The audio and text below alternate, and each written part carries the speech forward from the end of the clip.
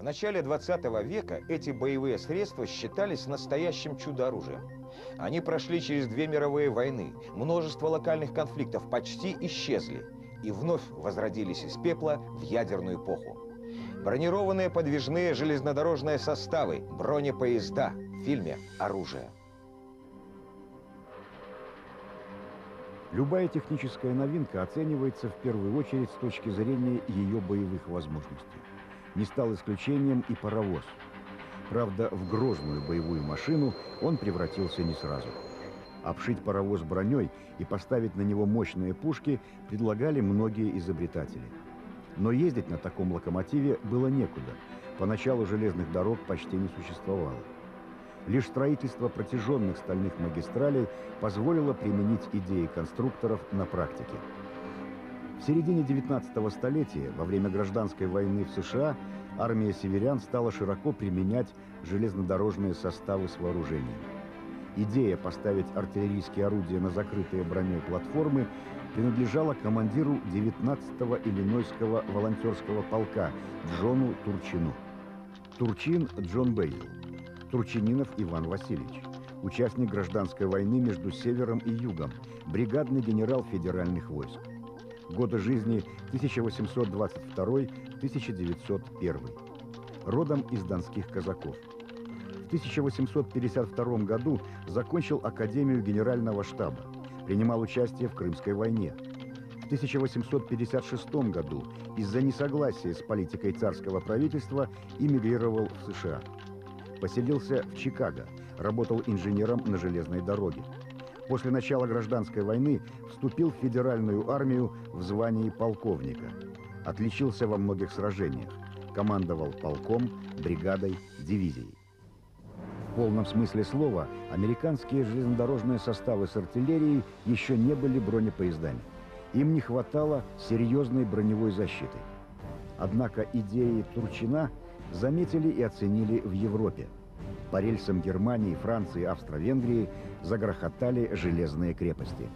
Впервые их стали широко использовать в англо-бурской войне 1899-1902 годов буры применяли партизанскую тактику, нарушая снабжение английской армии. Для защиты коммуникаций британцы использовали вооруженные и защищенные гарнизоны на колесах. Такие составы назывались блиндированными поездами. Термин «бронепоезд» появился позднее. Кроме артиллерийских орудий, железнодорожные платформы оснащались своеобразной броней. В ход шло все – шпалы, доски, мешки с песком – Вагоны для личного состава укреплялись листовым железом или рельсами. Бронировались и паровозы. Первоначально применялись канаты, которые навешивались в несколько рядов. Позже стали использовать стальные листы. Ходе англо-бурской войны бронепоезд доказал свою боевую эффективность и с этой поры начал победное шествие по планете. Бронепоезда строились во Франции, Финляндии, в Японии и Австро-Венгрии, в России и даже в маленькой Литве. К началу Первой мировой войны армии европейских государств имели на вооружении несколько десятков бронепоездов. Все страны-участницы войны по своим стратегическим планам предполагали только наступательные действия. Поэтому бронепоездам отводилась особая роль. Поддержка пехоты в атаке, огневые налеты на тылы противника – срыв материально-технического снабжения, захват железнодорожных мостов. Но реальность оказалась совершенно другой. На Западном фронте война быстро приняла позиционный характер. Противоборствующие стороны глубоко закопались в землю, а железнодорожное полотно в прифронтовой полосе было повреждено или уничтожено. Поэтому бронепоезда оказались невостребованными – и применялись только эпизодически на отдельных участках фронта. Там, где сплошной линии обороны не было, бронепоезда могли проявить свои лучшие качества – маневренность, мощь огня и хорошую защищенность. Относительную подвижность в первые военные годы сохранил Восточный фронт. Здесь условия для боевой деятельности бронепоездов оказались более благоприятными. Самое широкое применение бронепоезда получили в годы гражданской войны в России. В это время боевые действия имели маневренный характер и в основном происходили вдоль главных коммуникаций – железнодорожных магистралей. На станциях и в городах, расположенных рядом с железными дорогами, размещались склады с оружием, боеприпасами, продовольствием. Поэтому самые ожесточенные бои шли за железнодорожные узлы и магистрали.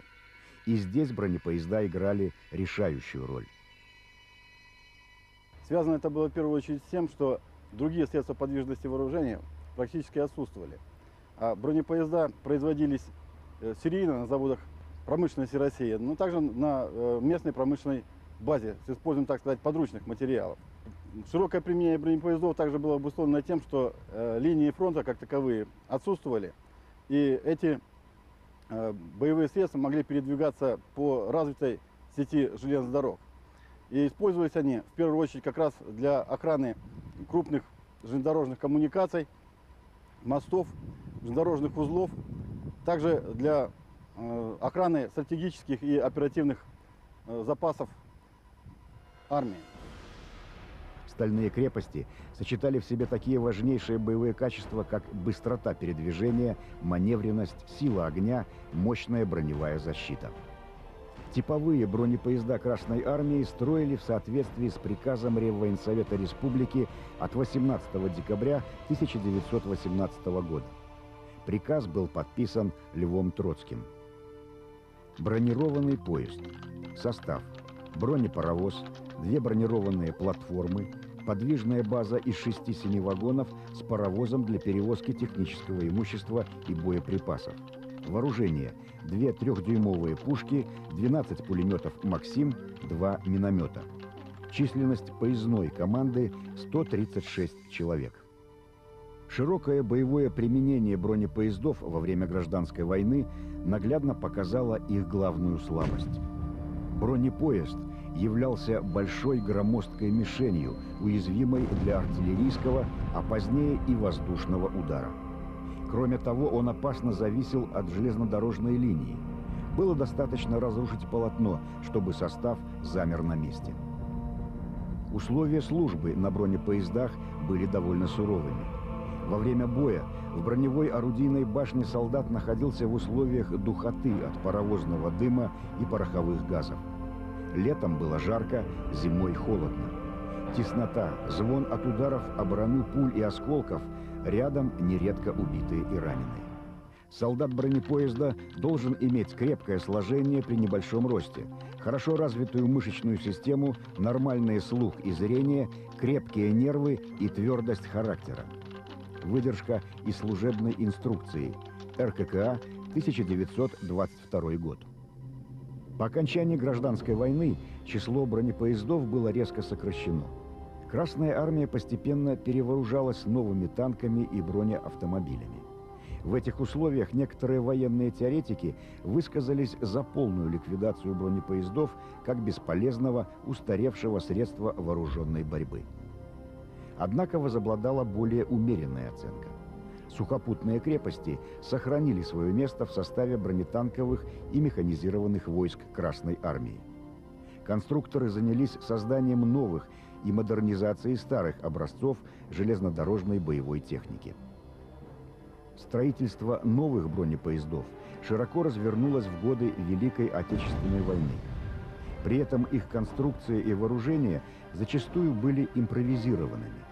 Все зависело от наличия броневой стали, вооружения и технологических возможностей. На железнодорожные составы устанавливались литые и танковые башни, тяжелые гаубицы и дальнобойные пушки.